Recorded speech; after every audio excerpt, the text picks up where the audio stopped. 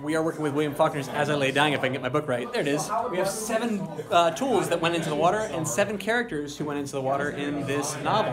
Our goal is to figure out which character is which tool, and we're about 35 chapters into the book, so we have a lot of text evidence to bear it out. Teams are competing to solve as many things as they can before the time expires and we drown in the floods. So I want to talk to the team here in the back and see what they got. You guys are on the comeback.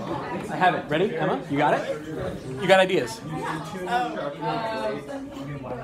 About all of. Yeah, what are we working on? You tell me.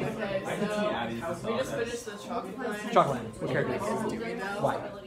Because one, it's like the only tool that requires two other. Good. So like Dewey Dell and the doctor is gonna give her an abortion or Dewey Dell and her child. Either way, you're talking about a line that requires two people. Yeah. I'm talking about It's a lot too, so like she's walking on edge because like she's Wait, great. about to like her brother. She's been I didn't think about that. Yeah, it works. Yeah. Anything else? What else you got? For the chalk line? Yeah. Wait, we have that for chalk gets to like wash away the chalk and she's gonna wash away. She's trying to wash away a thing that she's not, her her her incident or something like that.